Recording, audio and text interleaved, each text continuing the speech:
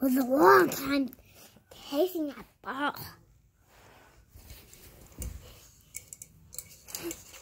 If it's attached to me. Alright, meanwhile, I have stuff to do, so leave us alone. Okay.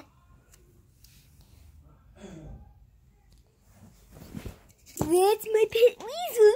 If you haven't watched part one, then you should. Really? I. I ate hot dogs for dinner. I got energy to chase this ball around again.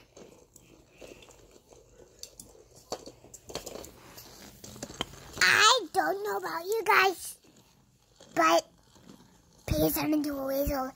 I want to chase this ball with you guys. Yeah, that is weird. Just weird weasel. I showed it to Bonnie and Chica, and I also showed that creepy guy. Okay, character drawing. Guys, we really need to get rid of him. Weird. Really, really weird. I can't act a single bit with him. I like this ball. Sorry, the video is kind of distracting to us. So we um made him run out of energy. yeah, I really think that guy should go. He's a weirdo. Show me him. I don't even know who he is. Hmm, he might it better. Okay, this is gonna be like the title's gonna be changed on this video. Who loves Chica the most part one? And and it's we'll say another the other title is the pet part two. Really. This is a picture of them hanging out. We did hanging instead instead of making out. Basically cheating on Freddy.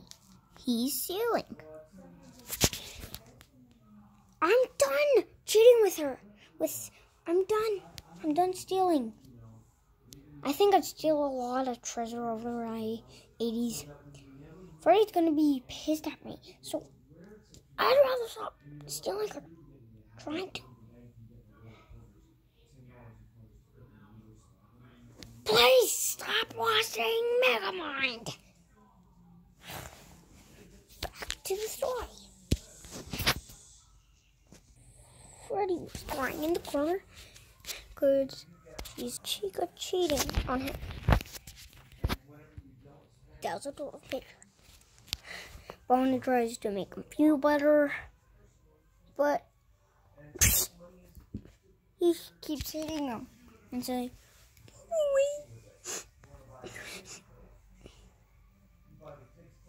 He keeps saying harsh, but times harsh, harsh, harsh, harsh. Which another th- problem in this video is that he's turning way more funny. Mm-hmm. And don't stick my boner out. My boner tail. And another thing that's different about FNAF is that I'm not, not stealing Chica. And that Chica's new boyfriend. And it's gonna happen until the last part where Fre- Freddy takes his revenge, which is gonna be part.